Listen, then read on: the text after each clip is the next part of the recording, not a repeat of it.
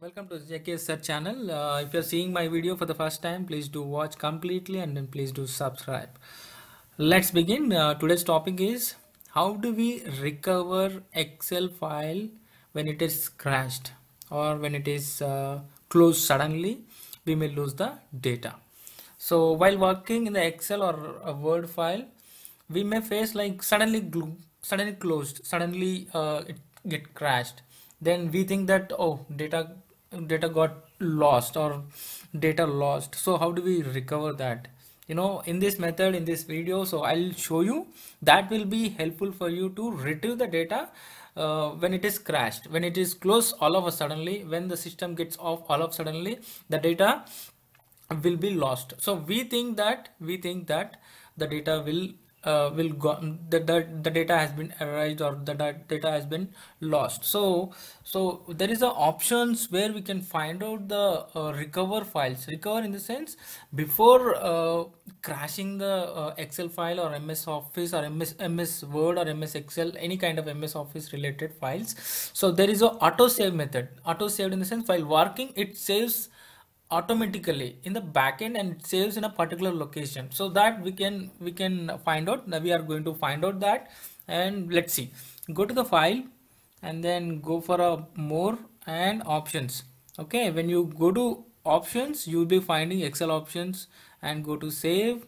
Here you can see that auto save location path you know auto recovery information every 10 minutes. When you save when you when you are working or while working in the excel you don't have to save it usually. It saves automatically in 10 minutes in a recovery mode. So this we can reduce it to 1 minute. Okay? So usually default method is 10 minutes so it sets as 10 minutes so we can set it to 1 minute okay?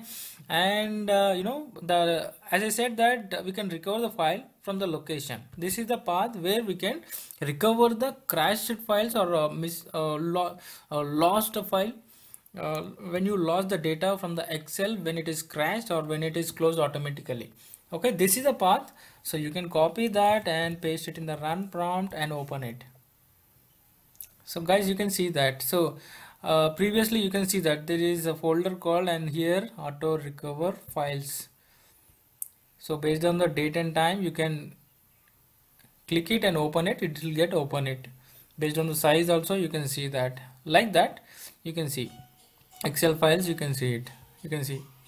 There are auto recovered. Suddenly when excel file closed the auto recover files will be created here and it will be saved here. So when you open it it will be open. So this is how you can find out in uh, excel or not only excel and you can find out in the word file also. That is also i'm going to show you now. Open word.